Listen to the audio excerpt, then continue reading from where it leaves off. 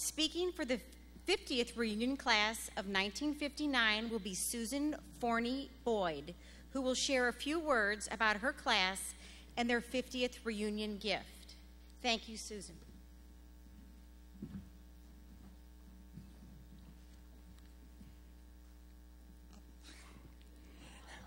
Always up. Greetings from the great class of 1959. The 100th graduating class of Mary Institute.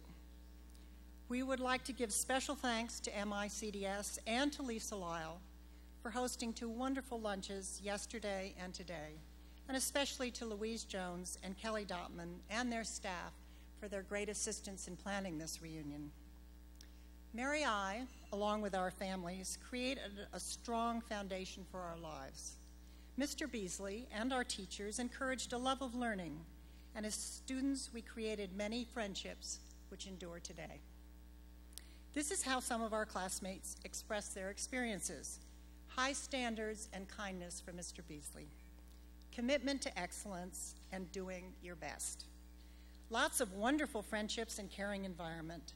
They taught me discipline, appreciation of others, loyalty, and the desire to grow intellectually and spiritually.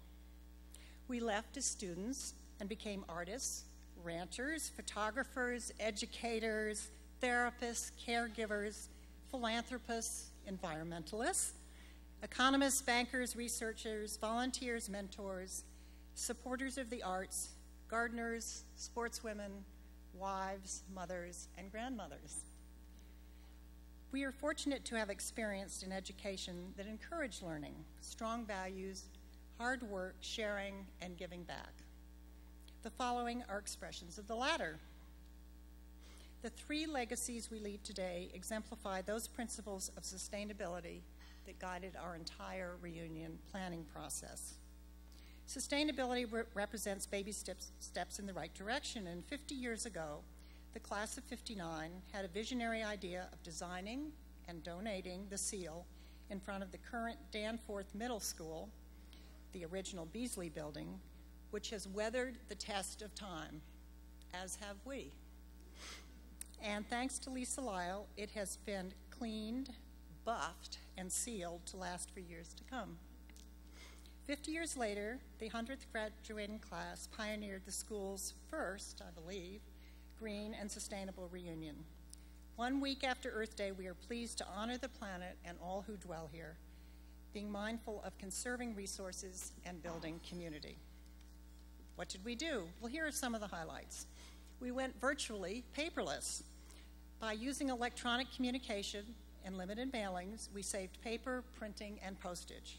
We went electronic. We created a reunion website to share all the latest information about the reunion, events, and classmates. We are publishing the first, I believe, electronic yearbook, recycling entries from our 1959 yearbook and adding updates for all of our classmates. We minimized travel and carpooled. For those of us traveling to St. Louis, we offset our carbon emissions by purchasing renewable energy credits.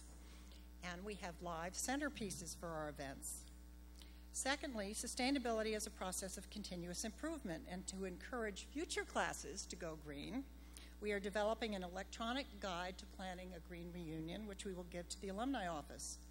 Our hope is that each succeeding class will make their reunions greener and greener, and expect that in a not too distant future, green reunions will be the norm.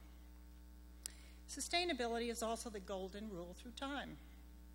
We benefited from an outstanding education and would like to help others do the same.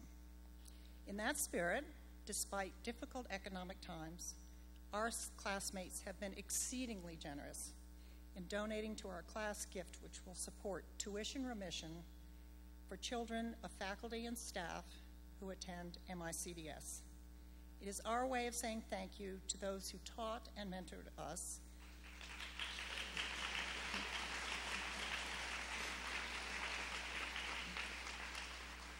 and we hope that future generations will experience some of the valuable educational opportunities that we had.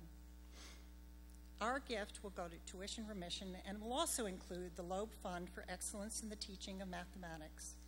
The amount of our gift is $145,139.